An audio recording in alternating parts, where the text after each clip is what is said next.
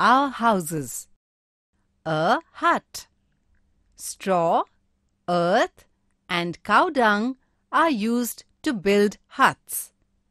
A hut is thatched with straw and daubed with a mixture of mud and cow dung. A hut has an earthen floor. Mud houses.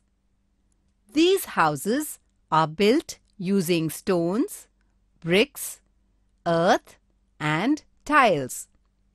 The walls are of mud or bricks. The floor is earthen or made of Shahabad tiles. Metal sheet houses. These houses are built with sheets of metal. Metal, cement or plastic sheets are used to make the roof too.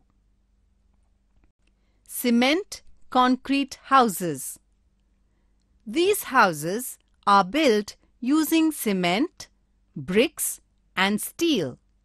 The bricks are made of clay or cement. Nowadays, bricks made from plastic scrap are also used for building houses. Houses are fitted with wooden or iron doors and windows. Modern technology has now entered the field of house construction. Every person chooses a house and the material for building it to suit his or her convenience. Characteristics of a good house.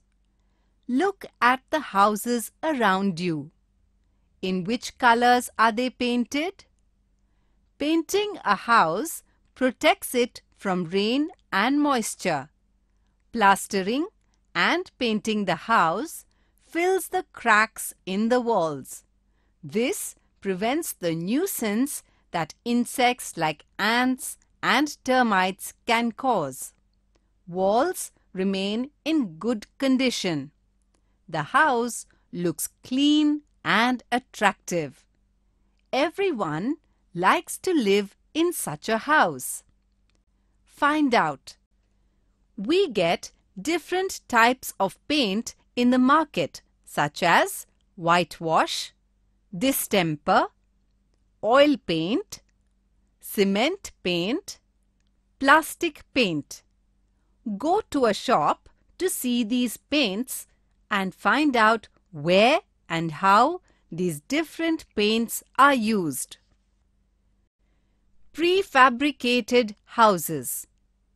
Nowadays, the concept of prefabricated houses is becoming popular. Things like doors, windows, their frames, kitchen platforms, are made ready in different places and carried to the construction site. Such houses, made by putting together different ready-made parts, are said to be prefabricated houses. Eco-friendly houses. Nowadays, houses are built so that full use is made of sunlight and electric lights are needed as little as possible. Doors and windows are arranged so that the house gets fresh air all the time. That is, it is well ventilated. Wastewater of the house is treated and used elsewhere. Houses like this, built with the environment in mind, are called eco-friendly houses. Where do we find such houses called igloos? Igloos are found in the polar regions. In which region would you find these houses? Boat houses are found in Jammu and Kashmir. Stilt houses are found in marshes or areas that get flooded frequently during the monsoon. Protecting historical monuments. Remember, we must never write anything on the walls of historical monuments, houses, forts, etc. If we see anyone doing so, we must talk to them politely but firmly and try to stop them.